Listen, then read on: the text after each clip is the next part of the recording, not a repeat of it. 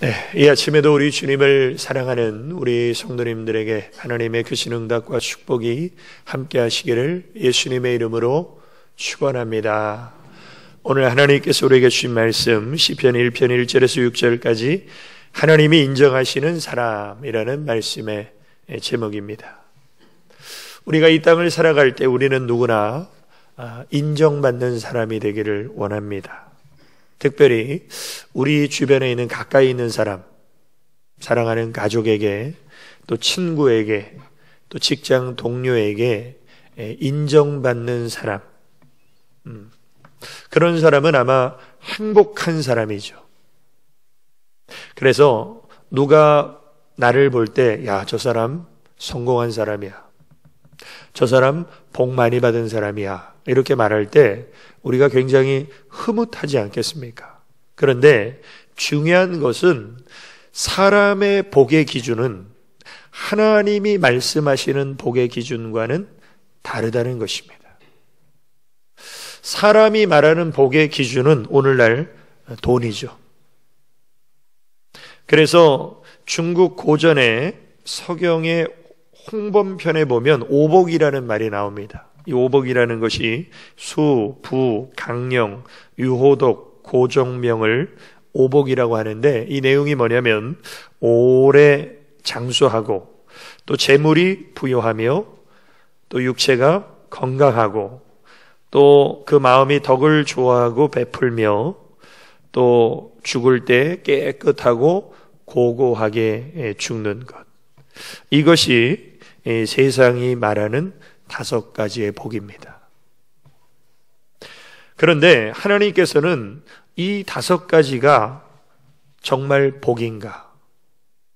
하나님은 육신적이고 물질적인 그런 복만을 복이라고 말씀하시는 것이 아니라 하나님의 복의 개념은 다르다는 것이죠.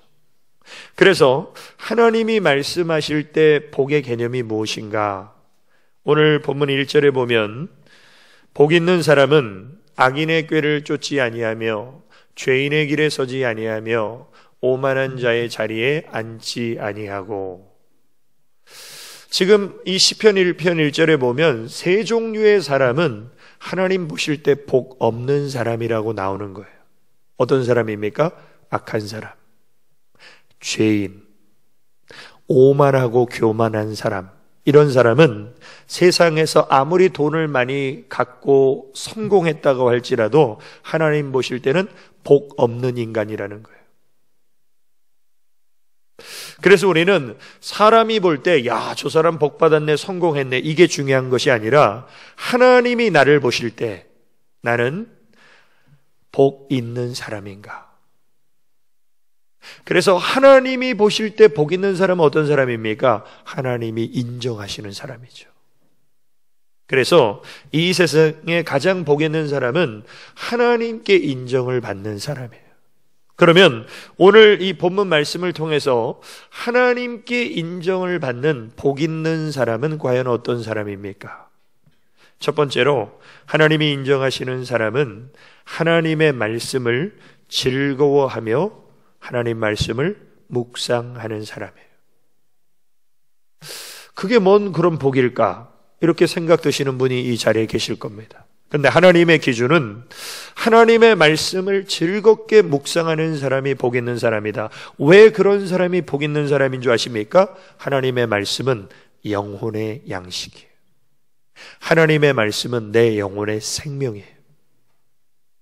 그래서 우리 예수님도 이런 말씀을 하시죠. 살리는 것은 영이니 육은 무익하니라. 내가 너희에게 이른 말이 영이요 생명이라. 하나님은 인간을 영적인 존재로 창조하셨어요. 그래서 우리는 보이는 육체가 있고 보이지 않는 영혼이 있어요. 우리의 육체는 밥을 먹어야 삽니다. 그런데 내 영혼은 뭘 먹어야 삽니까? 바로 하나님의 말씀. 이 말씀이 영이라는 거예요. 이 말씀이 생명이라는 거예요. 그러니까 하나님의 말씀을 즐겁게 묵상하는 사람은 영이요 생명인 하나님의 말씀이 영혼에 채워지게 되죠. 그래서 영혼에 힘있고 능력 있는 삶을 살게 됩니다. 우리 예수님은 40일을 금식 기도하셨어요. 40일을 금식 기도하다가 돌아가신 분도 많아요. 어떤 분은 예수님이 40일 금식 기도하셨는데 내가 40일을 금식 기도하면 되냐? 그래서 39일을 금식 기도한 목사님도 계세요. 그런데 40일을 금식 기도 하신 예수님이 성경에 나와 있듯이 줄이신지라. 우리 예수님도 완전한 인간이셨기 때문에 음식을 드시지 않으셨을 때 40일 동안 배고프셨어요. 그 예수님의 육체의 배고픔의 빈틈을 타고 마귀가 들어와서 야 네가 하나님의 아들이면 이 돌이 떡덩이가 되게 하라. 그때 예수님께서는 육체는 줄이셨지만 영혼은 충만하셨어요. 그래서 그 마귀의 시험을 말씀으로 물리치시면서 뭐라고 말씀하셨냐면 사람이 떡으로만 살 것이 아니요 사람이 떡으로만 산다면 짐승과 똑같이 사는 거예요. 근데 사람은 영적인 존재이기 때문에 사람은 떡으로만 밥으로만 살 수 없다. 사람은 하나님의 입으로 나오는 모든 말씀으로 살 것이라. 우리 예수님 안에 하나님의 말씀이 가득해서 마귀의 시험을 말씀으로 물리치셨습니다. 그래서 하나님의 입으로 나오는 모든 말씀으로 사는 사람을 하나님은 복 있는 사람이라고 하시고 하나님은 그런 말씀으로 사는 사람을 인정해 주십니다. 근데 참으로 안타까운 현실이 무엇입니까? 오늘날 많은 크리스천들은 성경을 안 읽는다는 것입니다. 그래서 어느 설문조사에 의하면 예배자 중에 약 52%가 다음 예배 시간에 나올 때까지 성경을 보지 않는다고 합니다. 그러니까 오늘 우리 성도님들이 주일날 교회 와서 시편 1편 1절에서 6절을 보셨어요. 그러면 이 중에 절반에 해당하시는 분들은 예배를 끝나고 성경을 딱 덮고 집에 가시면 성경을 그냥 뭐 텔레비전이나 테이블에 딱 놓으시면 다음 예배 때까지 성경을 안 보는 분이 절반이라는 거예요. 그래도 다행히 수요 예배나 금요철에 예배를 나오시는 분들은 그래도 며칠 만에 한번 보시겠죠. 그런데 주일날만 예배 나오는 분들은 일주일 동안 이 말씀 한 끼 먹고 일주일을 견디려고 하니까 얼마나 힘들겠어요. 얼마나 원수 마귀의 시험과 유혹에 쓰러지고 넘어지고 자빠지겠습니까? 마귀의 시험을 분별하고 이길 수 있는 영적인 힘과 에너지가 없는 사람이 그런 사람이 하나님 보실 때 복 없는 사람이라는 거예요. 왜 우리가 하나님의 말씀을 즐겁게 묵상해야 됩니까? 우리가 하나님의 말씀을 읽고 묵상하는 것은 하나님과 영적으로 교제하는 거예요. 그래서 이런 말이 있습니다. 하나님의 말씀을 우리 마음에 담고 생각하는 것은 우리가 하나님과 직접 대화하는 것을 의미합니다. 내가 하나님의 말씀을 읽고 묵상하면 그 시간은 어떤 시간이냐면 내가 영이신 하나님과 영적으로 교제하는 시간이에요. 하나님과 영적으로 교제하는 사람이 영적으로 살아있는 사람이죠. 하나님과 영적으로 교제하는 사람은 하나님의 말씀을 더 이상 억지로 읽지 않습니다. 제가 24살 때 군대에서 큰 사고를 만나서 하나님 앞에 결단한 게 뭐냐면 내가 이제 매일 하나님 말씀을 읽겠습니다. 하루에 한 장이든 두 장이든 매일 말씀을 읽겠습니다 하고 말씀을 매일매일 읽을 때 얼마나 말씀 읽기가 힘들었는지. 그만큼 하나님의 말씀을 우리가 매일매일 영혼의 양식으로 즐겁게 읽는 것은 이게 저절로 되는 게 아니에요. 처음에는 의지를 가지고 억지로라도 읽어야 돼요. 그러다 보면 어떻게 됩니까? 그 말씀을 읽는 삶이 내 삶의 습관이 돼요. 하나님의 말씀을 읽는 삶이 습관이 되는 사람이 어떻습니까? 하나님의 말씀을 즐겁게 묵상할 수 있는 단계까지 나가는 거예요. 그래서 오늘 보면 2절에 보면 오직 여호와의 율법을 즐거워하여 그 율법을 주야로 묵상하는 자로다. 여기서 묵상하다라는 단어는 어떤 의미가 있냐면요. 중얼거리다. 낮은 소리로 읽다. 이런 의미가 있어요. 그러니까 하나님의 말씀을 중얼거리고 낮은 소리로 읽다라는 것은 하나님의 말씀을 거의 암송하는 것과 같습니다. 마치 옛날 서당에 다니는 사람들이 천자문이나 명심보감을 송두리째 암송하고 막 중얼거리며 다니죠. 하늘천 따지. 하나님의 말씀을 주야로 즐겁게 묵상하는 사람은 하나님의 말씀이 영혼 속에 있어서 그 말씀을 늘 읊조리며 묵상하며 중얼거리며 말씀 안에 거하는 삶을 살게 된다는 거예요. 그러면 그렇게 하나님의 말씀을 가까이 하고 묵상하는 사람이 어떤 삶의 유익과 축복이 있습니까? 어떤 환란과 고난이 닥쳐와도 말씀의 사람은 그 환란을 이겨낼 수 있어요. 그 대표적인 사람이 바로 욥입니다. 욥은 우리가 상상할 수조차 없는 환란을 만났어요. 그런데 그 환란을 인내했어요. 이겨냈어요. 그리고 갑절의 축복으로 그 인생이 역전됐습니다. 그 역전의 비결을 욥은 이렇게 고백하죠. 내가 그의 입술의 명령을 어기지 아니하고 일정한 음식보다 그 입의 말씀을 귀히 여겼구나. 이게 바로 영의 사람이라는 거예요. 육신의 사람은요, 밥만 중요시합니다. 근데 영의 사람은 밥보다 하나님의 말씀을 더 귀히 여겼다는 거예요. 육신의 밥을 먹기 전에 나는 영혼의 양식인 하나님의 말씀을 먹었기 때문에 그 환란을 이길 수 있었다라고 고백하는 거예요. 이건 욥만 그런 것이 아니라 다윗도 동일한 고백을 하죠. 다윗이 얼마나 환란 풍파가 많았습니까? 근데 그 모든 환란 풍파를 다 이겨냈죠.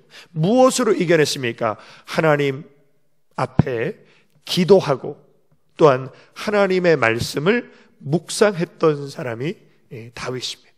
그리고 이런 놀라운 고백을 하죠. 시편에 주의 말씀에 마치 내게 어찌 그리 단지요 내 입에 꿀보다 더하니이다. 사실 저는 이렇게 지른 밥을 좋아합니다. 왜냐면 저희 아버님이 지른 밥을 좋아하셨어요. 그래서 그런 아버지 밑에서 자라다 보니까 지른 밥을 좋아해요. 그런데 제가 언젠가 이렇게 현미밥을 어, 현미밥을 해서 이렇게 먹는 때가 있었는데 현미밥은 꼬들꼬들하잖아요. 근데 꼬들꼬들한 현미밥을 50번, 어, 60번 계속 씹으니까 단맛이 나더라고요. 물론 치매의 이 작용으로 되는 것이지만 오래 씹으니까 쌀 밥만 먹어도요 단맛이 거예요. 하나님의 말씀도 그렇습니다. 하나님의 말씀을 처음 접하면 단단하고 뭔가 딱딱한 것 같은데 이 말씀을 계속 곱씹고 되새김질하면 이 하나님 말씀의 맛이 다윗의 고백처럼 꿀처럼 단 거예요. 하나님의 말씀을 즐겁게 묵상하는 사람에게는 하나님의 말씀이 꿀송이처럼 단, 하나님의 말씀이 정금보다 귀한, 더 나아가서 하나님의 말씀이 내 인생의 길에 빛이 되어지는 은혜가 주어지는데, 오늘 우리 모든 성도님들이 하나님의 말씀을 즐겁게 묵상함으로 말씀의 맛을 경험하는 은혜가 있으시기를 주님의 이름으로 축원합니다. 두 번째로 하나님이 인정하시는 사람은 하나님의 말씀을 삶에 적용하여 실천하는 사람입니다. 자, 우리가 하나님의 말씀을 즐겁게 묵상했어요. 말씀의 맛이 내게 어찌 그리 단지요. 이것도 경험했습니다. 그런데 말씀을 삶에 적용하고 실천하지 않으면 그 사람의 믿음은 죽은 믿음이에요. 행함이 없는 믿음은요, 죽은 것이에요. 오늘날 이 대한민국 크리스찬들의 이 맛을 잃어버린 영향력을 잃어버린 우리 한국 교회와 성도들의 문제가 뭐냐면 삶의 말씀의 적용이 약하다는 거예요. 그러나 하나님이 원하시는 것은 하나님의 말씀이 우리의 삶에 적용되어지고 실천되어져서 우리의 삶이 세상 사람들과 구별되기를 원하시는 것이 하나님의 뜻이에요. 그래서 오늘 시편 1편 1절에 보면 복 있는 사람은 악인의 꾀를 쫓지 아니하며 죄인의 길에 서지 아니하며 오만한 자의 자리에 앉지 아니하고 하나님이 인정하시지 않는 악인, 죄인, 오만한 사람과는 우리는 다른 삶을 살아야 된다는 것이죠. 자, 악인의 꾀를 쫓지 않는다는 것은 생각이 복되다는 거예요. 생각이 복된 사람은 어떻습니까? 마귀가 아무리 유혹하고 찔러도 흔들리지 않는 것이죠. 마귀에게 빈틈을 보이지 않는 것이. 그래서 가론 유다의 마음의 생각을 점령해서 예수님을 팔려는 생각을 마귀가 집어넣는데 생각이 복된 사람은 어떻습니까? 자기 마음과 생각을 마귀에게 점령당하지 않습니다. 그래서 잠언 4장 23절에 보면 무릇 지킬 만한 것보다 더욱 내 마음을 지키라 생명의 근원이 이에서 남이니라. 우리가 육신의 건강을 잘 관리하고 지키는 것 중요합니다. 근데 그거보다 더 중요한 게 뭐냐면 내 마음을 지키는 거예요. 내 생각을 지키는 거예요. 원수 마귀가 빈틈 타고 유혹하고 시험하려고 해도 내 마음과 생각을 지키는 사람은 견고한 믿음을 가지고 하나님 앞에 복된 생각을 하며 살아가게 된다는 것이죠. 그리고 그 마음과 생각을 지키는 사람은 그 마음과 생각이 그 사람의 인생의 발걸음을 주장하게 되어 있습니다. 그래서 하나님이 인정하시는 사람은 생각만 복된 것이 아니라 발걸음이 복된 사람. 그래서 하나님이 인정하시는 길을 가는 사람이에요. 그러나 하나님을 믿지 않는 사람은 어떻습니까? 자기가 볼 때 바른 길을 가요. 자기 생각에 의로운 길을 가요. 그런데 내가 보기에 바른 길이 꼭 바른 길인가? 내가 생각하기에 옳다고 하는 것이 정말 옳은 것인가? 하나님은 아닌데? 아니라는 거예요. 내가 보기에 바른 길이 어떤 길이라고 하나님 말씀하십니까? 어떤 길은 사람의 보기에 바르나 필경은 사망의 길이니라. 오늘날 얼마나 많은 사람들이 사망의 길로 가면서 자기는 옳은 줄 알아요. 사망의 길로 가면서 자기는 바른 줄 알아요. 이게 뭐예요? 하나님이 인정하시지 않는 길로 가는 사람들이에요. 그러면 하나님이 인정하시는 길은 어떤 길입니까? 마태복음 7장 13절에 보면 좁은 문으로 들어가라. 멸망으로 인도하는 문은 크고 그 길이 넓어 그리로 들어가는 자가 많다는 거예요. 그러니까 우리가 조심해야 될 것이 무엇입니까? 대세고 다수면 그게 옳은 길이 아니라는 거예요. 근데 우리는 어떤 민주주의의 영향을 받아가지고 무조건 많은 사람이 지지하고 대세면 이게 옳은 길인 줄 착각하는 거예요.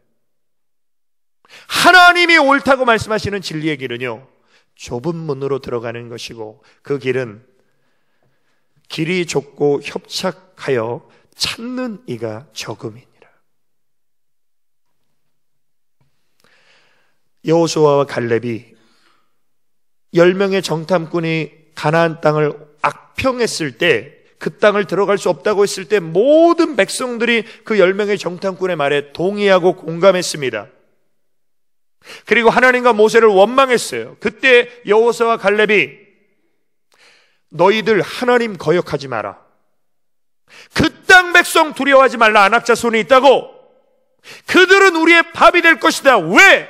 그들의 보호자는 하나님 무서워서 떠났어. 그러나 하나님은 우리와 함께 하시느니라. 이게 뭐예요? 좁은 문으로 들어가는 거예요. 이게 뭐예요? 하나님이 인정하시는 길을 가는 거예요. 왜 우리가 하나님이 인정하시는 길을 가야 됩니까? 하나님이 인정하시는 길은 생명의 길이에요. 그러나 하나님이 인정하시지 않는 길은 사망의 길이에요. 그래서 오늘 보면 6절에 보면 대저 의인의 길은 하나님께서 인정하시나 악인의 길은 망하리로다. 그래서 보겠는 사람은 언제나 사람들이 많이 찾지 않는 좁은 문으로 들어가고 십자가의 길을 가기를 힘쓰는 사람이 복 있는 사람이에요. 또한 하나님 보실 때 복 있는 하나님이 인정하시는 사람은 하나님을 높이고 겸손한 삶을 삽니다. 그래서 오늘 본문 1절 말씀에도 보면 복 있는 사람은 악인의 꾀를 쫓지 아니하며 죄인의 길에 서지 아니하며 오만한 자의 자리에 앉지 아니하고 그러니까 복 있는 사람, 하나님이 인정하시는 사람은 하나님을 높이고 자기를 낮추는 겸손한 사람이라는. 우리가 사는 세상은 겸손하면 손해 봅니다. 그러나 하나님은 겸손한 사람에게 은혜를 주세요. 반대로 교만한 사람은 하나님이 찍어버리십니다. 그래서 베드로전서 5장 5절 이하에 보면 하나님이 교만한 자를 대적하시되 겸손한 자들에게는 은혜를 주시느니라. 그러므로 하나님의 능하신 손 아래서 겸손하라. 때가 되면 너희를 높이시리라. 교만한 사람의 특징이 뭡니까? 교만한 사람은요, 자기를 높여요. 누가? 자기 자신이. 스스로 높아지려고 하는 사람은요, 교만한 사람이에요. 근데 하나님이 그런 사람은 낮춰버리십니다. 근데 겸손한 사람은 어떤 사람이냐면 하나님을 높이는 사람이에요. 자기를 낮추고 하나님을 높이는 사람을 하나님이 어떻게 하십니까? 은혜를 주세요. 그 사람을 하나님이 어떻게 하십니까? 때가 되면 높여주세요. 그렇게 살았던 사람이 누굽니까? 바로 다니엘이에요. 다니엘은 어렸을 때부터 믿음으로 살았습니다. 왕의 진미를 거부했어요. 하나님이 특별한 은혜를 주셔서 꿈을 해몽할 수 있는 특별한 은사를 주셨는데 그 꿈을 해몽할 때도 다니엘은 하나님을 높이는 거예요. 이 꿈을 장래일을 말할 분은 내가 아니라 하나님이 이 은밀한 일을 나타내실 겁니다. 하나님을 높여요. 그러니까 하나님이 다니엘을 어떻게 하십니까? 높여 주시죠. 사람의 특징이 없을 때는 겸손할 수 있는데 하나님이 복 주시고 높여 주시면 사우랑처럼 교만해지는 게 인간의 특징이에요. 그런데 다니엘은 계속 겸손하죠. 왜? 어떻게? 하루에 세 번씩 기도하는 거예요. 목숨 걸고 하나님 앞에 기도합니다. 우리가 영적으로 깨어 기도하는 것은 어떤 효과가 있습니까? 나 하나님 인정하고 하나님 앞에 겸손히 살겠습니다 하는 사람은요, 기도가 중단되지 않아요. 근데 교만한 사람의 특징은 뭐냐면 기도가 중단돼요. 솔로몬처럼. 하나님 앞에 지혜로운 마음을 일천 번제를 드리면서 기도하다가 하나님이 지혜를 주시고 불을 주시고 영광을 주시니까 기도가 사라졌어요. 뭘 말합니까? 교만해졌다는 거예요. 그런데 다니엘은 하루에 세 번씩 늘 기도하며 살죠. 목숨 걸고 기도하죠. 그런 다니엘을 하나님이 높여주시는 거예요. 자, 스스로 높아지려는 교만한 사람은 하나님이 찍어버리세요. 그런데 하나님을 높이고 겸손히 기도하는 사람은 하나님이 높여주십니다. 하나님이 높여주시면 추락하지 않아요. 떨어지지 않아요. 그래서 놀라운 사실은 다니엘은 왕이 바뀌고 나라가 바뀌어도 계속해서 형통한 삶을 살게 됩니다. 사실 정권이 바뀌면 어떻게 됩니까? 아무리 잘났어도 내려와야 돼요. 그 새로운 정권에 따르는 사람들로 모든 게 싹 물갈이가 되죠. 그런데 다니엘은 물갈이가 안 돼요.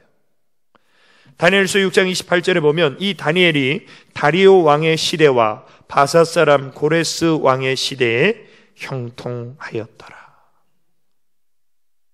누구 때문에? 하나님 때문에.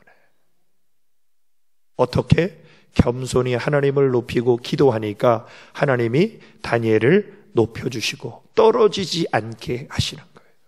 오늘 사랑하는 성도 여러분, 하나님의 말씀을 우리가 알고 듣고 읽고 깨달았다면, 묵상했다면 그 말씀이 내 삶에 적용되어져서 하나님이 기뻐하시는 믿음의 길을 온전히 쫓아가시기를 주님의 이름으로 축원합니다.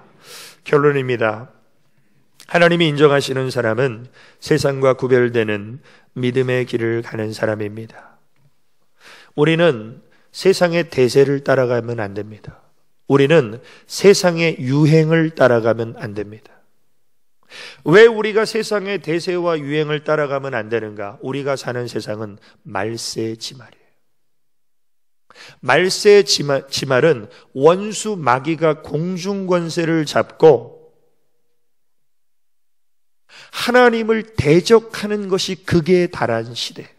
그 현상이 무엇입니까? 오늘 우리가 사는 세상은 하나님의 말씀과 정반대로 가요. 가만히 생각해 보십시오.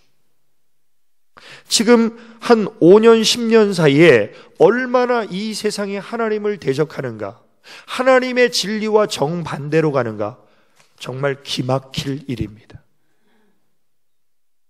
단적인 예로 우리나라는 사실 교회는 많지만 우리나라는 엄밀히 말하면 불교 국가와 마찬가지죠. 그런데 미국이라는 나라는 기독교 국가예요. 기독교 국가이기 때문에 미국이라는 나라의 대통령은 그 취임 선서를 할 때 왼손으로 성경책에 올려놓고 선서합니다. 하나님의 말씀 앞에. 이게 기독교 나라인데 미국이 지금 어떻게 바뀌는 줄 아십니까? 학교에서 학생이 성경책을 읽고 있는데 선생이 너 이거 불법한 책이니까 읽지 말라고. 성경을 못, 읽, 못 읽게 해요. 미국의 공립학교에서. 이게 기독교 나라예요? 왜 성경을 못 읽게 하는가? 이 성경에는 동성애는 죄라고 나오거든요. 근데 우리가 사는 세상은 어떻습니까? 점점 동성애는 인권이다라는 식으로 동성애를 잘못됐다라고 말하면 오히려 그 사람이 잘못된 것처럼 되는 세상이 돼버렸어요. 미국이. 그리고 그 영향이 우리 대한민국으로 지금 몰려오고 있죠. 지금 국회의원들이 차별금지 법안을 통과시키려고 막 혈안이 돼 있습니다.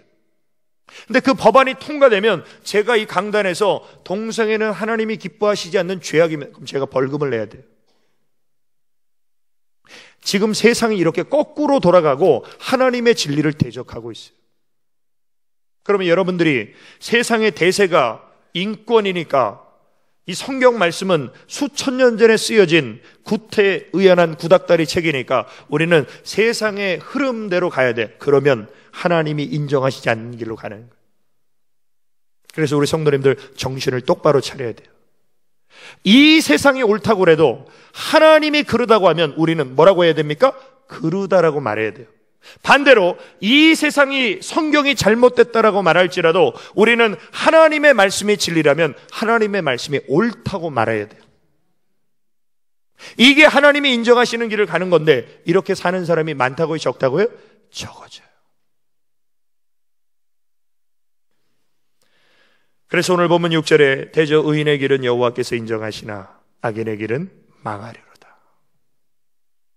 우리는 목에 칼이 들어와도 주기철 목사님처럼 하나님이 인정하시는 길을 가야 돼요. 하나님은 우리에게 뭐라고 말씀하십니까? 좁은 문으로 들어가기를 힘쓰라. 내가 너희에게 이르노니 들어가기를 구하여도 못하는 자가 많으리라. 예수 믿는 사람 치고 좁은 문으로 들어가기를 원치 않는 사람이 어디 있습니까? 다 들어가고 싶죠. 왜? 거기에 생명과 영생이 있기 때문에. 그런데 들어가기를 마음으로는 원하지만 못하는 자가 많다는 겁니다. 왜? 세상에 불이익을 당하니까. 세상에 미움을 받으니까. 그래서 일제시대 신사 참배를 거부한 사람은 극소수였어요. 대다수의 목사님들과 대다수의 성도님들은 신사 참배를 거부하지 않았습니다. 이게 현실이에요. 불의와 타협하지 않고 세상으로 내려가지 않고 믿음으로 사는 사람은요, 예나 지금이나 소수에 불과합니다. 다니엘의 새 친구는 다니엘처럼 불의와 타협하지 않았습니다. 느부갓네살 왕이 금신상 만들어 놓고 빨리 절하라고 위협할 때 뭐라고 말합니까? 그리 아니하실지라도 왕이여 우리가 왕의 신들을 섬기지도 아니하고 왕이 세우신 금신상에게 절하지도 아니할 줄을 아옵소서. 왜냐하면 하나님은 한 분이십니다. 목숨을 걸고 하나님을 섬기는 믿음을 지키는 이런 사람들은요, 소수라는. 우리는 이 세상 풍조와 유행에 물들지 말고 세상과 구별됨으로 하나님만 섬기는 믿음으로 살 때 우리는 어떻게 됩니까? 세상을 이기는 사람이 돼요. 그러나 세상과 타협하고 세상과 적당히 손잡고 살면 그 사람은 자기 보기에 바른 길을 가지만 그 끝은 사망입니다. 그래서 요한일서 5장 4절에 보면 대저 하나님께로서 난 자마다 세상을 이기느니라 세상을 이긴 이김은 이것이니 우리의 믿음이니라. 하나님이 우리에게 원하시는 것이 무엇입니까? 믿음으로 세상을 이기라는 거예요.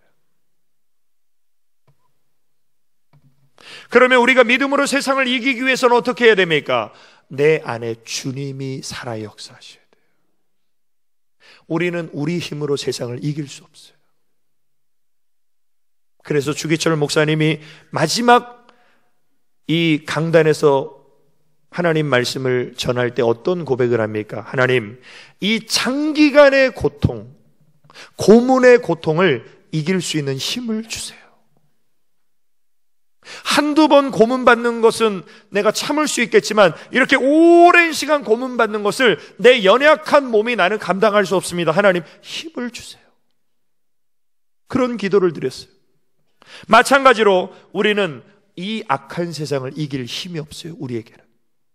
주님이 우리 안에서 역사하셔야만 이길 수 있어요. 그런데 주님이 내 안에 역사하시려면 반드시 전제 조건이 뭡니까? 내가 죽어야 돼요. 내가 살아있으면 내가 역사해요. 그러나 내가 죽으면 주님이 역사하시죠. 그래서 갈라디아서 2장 20절에 내가 그리스도와 함께 십자가에 못 박혔나니 그런즉 이제는 내가 산 것이 아니요 오직 내 안에 그리스도께서 사신 것이라 이제 내가 육체 가운데 사는 것은 나를 사랑하사 나를 위하여 자기 몸을 버리신 하나님의 아들을 믿는 믿음 안에서 사는 것이라 내가 그리스도와 함께 십자가에 못 박힐 때만 내가 믿음으로 살 수 있다라는. 그럼 내가 그리스도와 함께 십자가에 못 박히는 것은 과연 무엇입니까? 저 남미에 어디 가보면요, 뉴스에 나오죠. 막, 진짜 예수님 십자가에 못 박히신 것처럼 자기가 십자가에 못 박혀서 막 달리는 그런 의미가 아니에요. 내가 그리스도와 함께 십자가에 못 박혔나니, 이 의미를 어떤 제자가 스승에게 물어봤습니다. 그러니까 스승이 그 제자에게 너 지금 공동묘지로 가서 10분 동안 공동묘지에 있는 사람들에게 막 욕을 해버려라. 그래서 스승의 말에 순종해서 가서 막 욕을 하고 돌아왔습니다. 물어봅니다. 야, 무덤에 있는 사람들이 네가 욕하니까 뭐라고 하니? 아무 말 없습니다. 그래? 그럼 이번에 다시 또 무덤에 가서 10분 동안 그 사람들을 막 박수 치면서 막 칭찬해 주고 오라고 그랬어요. 박수 치고 막 칭찬해 주고 왔습니다. 또 물어봅니다. 그 사람들이 너한테 뭐라고 하니? 아무 대답이 없습니다. 그게 바로 예수님과 함께 죽는 거야. 이렇게 말했습니다. 사람들의 박수갈채에 우쭐대지 않고 세상의 비난에 주눅들지 않는 것이 믿음의 길이요, 십자가의 길입니다. 누가 막 우리를 칭찬해주고 막 박수칠 때 어깨 힘주고 우쭐대면 그 사람 잘못된 길로 갈 수 있어요. 반대로 우리가 막 누군가 나를 막 비난하고 뭐라고 비판할 때 내가 주눅 들면 우리는 세상과 타협할 수 밖에 없어요.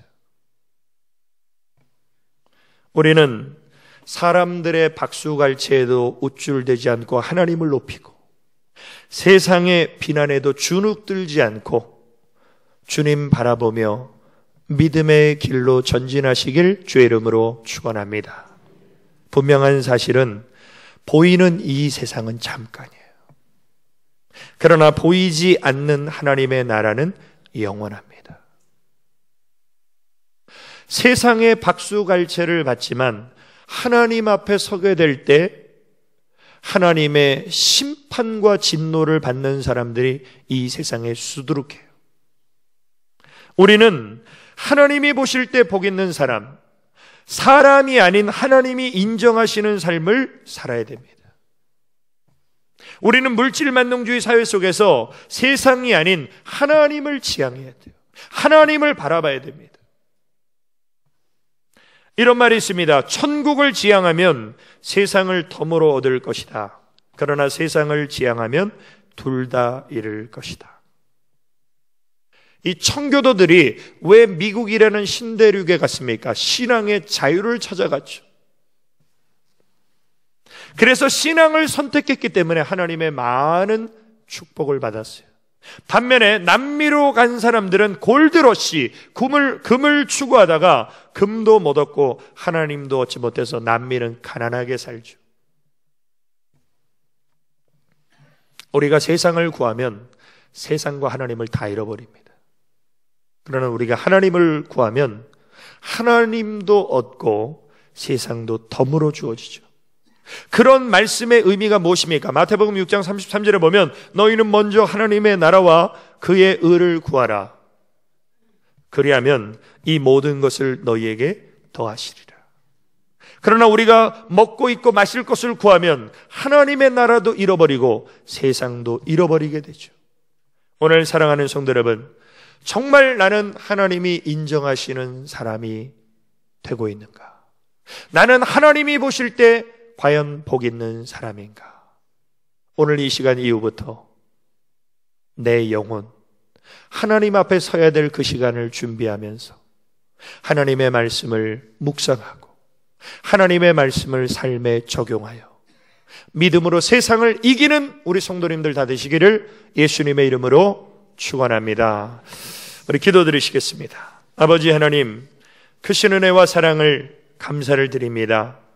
우리는 이 땅을 사는 동안 하나님의 나라를 지향하면서 하나님이 인정하시는 사람 되게 하여 주옵소서.